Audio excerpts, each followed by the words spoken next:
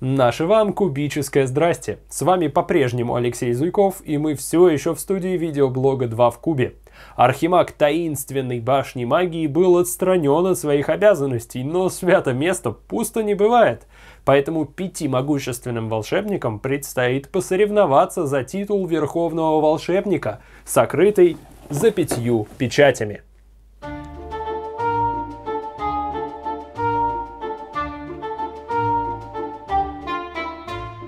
Игра появилась в продаже осенью этого года, но о ней по-прежнему очень мало информации в интернете.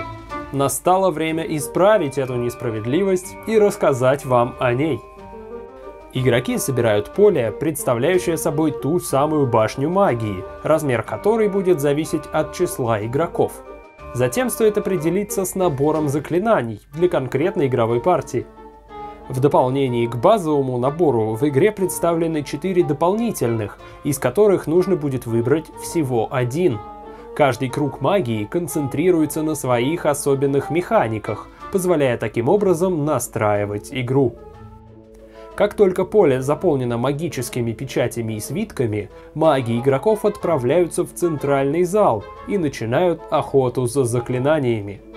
Основная механика данной игры напоминает слегка усложненные махинации с кубиками из Кингсбурга. Каждый раунд игрок будет выбирать три любых кубика, а затем бросать их.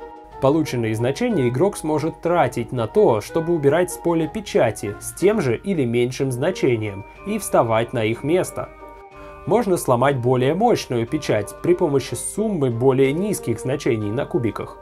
Однако сломать печать игрок может только если от его текущего положения до печати путь свободен.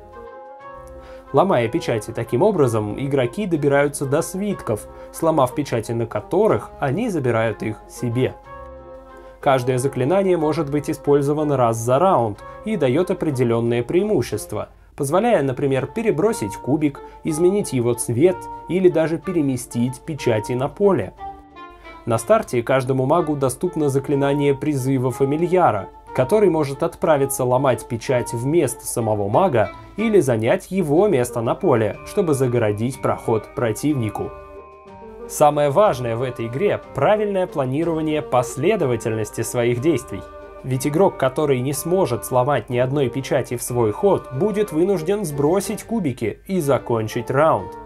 А как только с поля будет снято определенное количество свитков с силой 6, игра подойдет к концу и победит тот, кто собрал наиболее ценную комбинацию свитков.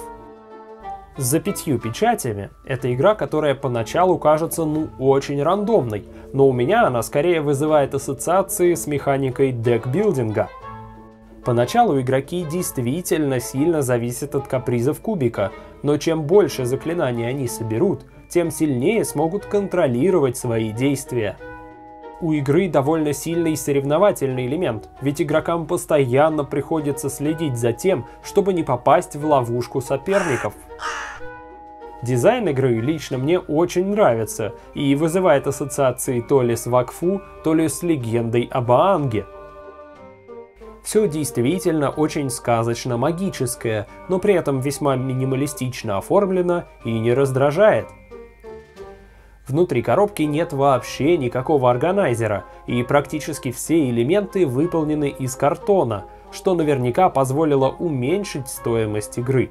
На момент создания обзора ее розничная цена составляет полторы тысячи рублей. Честно говоря, пока я не познакомился с этой игрой лично, я был уверен, что это локализация, а не отечественная разработка, что уже много говорит о ее качестве. Поругать эту игру я могу разве что за действительно длительную подготовку к игре при столь коротком времени партии. Ну и конечно же не подойдет она тем, кто не любит кубики, а всем остальным советую обратить на нее свое внимание.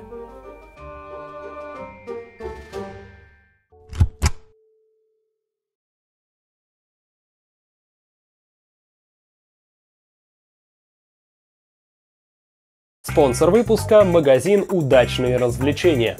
Настольные игры, пазлы и многое другое.